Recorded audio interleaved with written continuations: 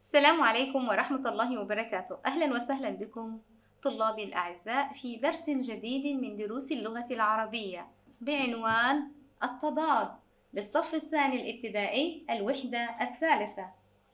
أبناء الأعزاء كما أعتدنا قبل أن نبدأ علينا أن نتذكر سويا القوانين الصفية فهيا بنا.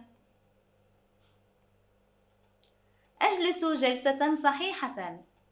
أجلس حتى انتهاء الوقت.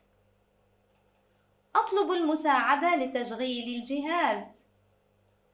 أبحث عن مكان هادئ. والآن أبنائي هيا بنا نتعرف على أهداف درسنا لهذا اليوم. يتوقع من الطالب في نهاية الدرس أن يتعرف على معنى التضاد بشكل صحيح. أن يحدد الطالب مضاد الكلمات الشائعة الاستخدام. هيا أبنائي نتعرف ما معنى التضاد؟ ماذا نقصد بكلمة التضاد؟ التضاد هو اختلاف الكلمة مع كلمة أخرى في المعنى الكلمة وعكسها. مثال على ذلك النشاط. ما مضاد النشاط يا أبنائي؟ الكسل. أحسنتم. أمثلة أخرى على الكلمات المتضادة. كلمة سريع. ما عكس كلمة سريع يا أبنائي؟ بطيء. أحسنتم. قريب. عكس كلمة قريب أيضا؟ بعيد. كبير. عكس كبير.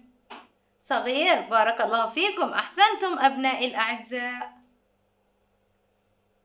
فأنتم رائعون.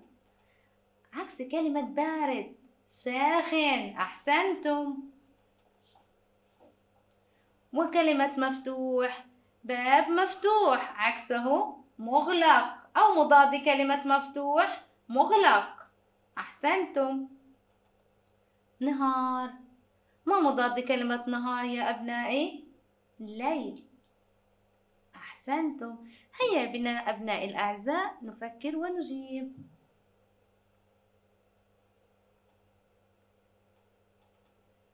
ننظر إلى الصورة جيدا. ماذا نرى في هذه الصورة؟ سلة. هل هي فارغة أم ممتلئة؟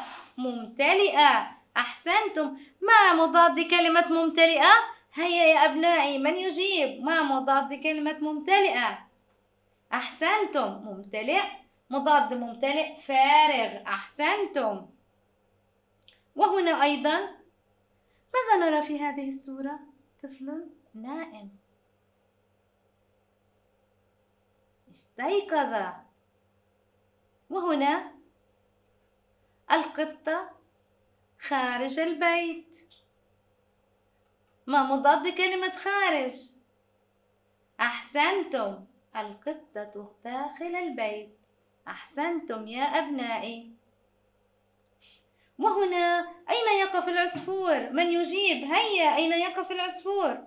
أحسنتم. العصفور يقف تحت. تحت الساقية. وهنا أين العصفور؟ العصفور فوق. فكلمة تحت المضاد لها كلمة فوق. هيا أبنائي نلعب سويا هذه اللعبة. هيا لعبة الكلمات وعكسها. الكلمة وعكسها. هيا يا أبنائي. كلمة أبيض. ما عكس كلمة أبيض يا أبنائي الأعزاء؟ أسود. أحسنتم. وأيضا كلمة قصير عكسها طويل. أحسنتم. بارك الله فيكم يا أبناء الأعزاء. أنتم رائعون. والآن أبناء الأعزاء جاء دوركم لجمع أكبر عدد من الكلمات وعكسها.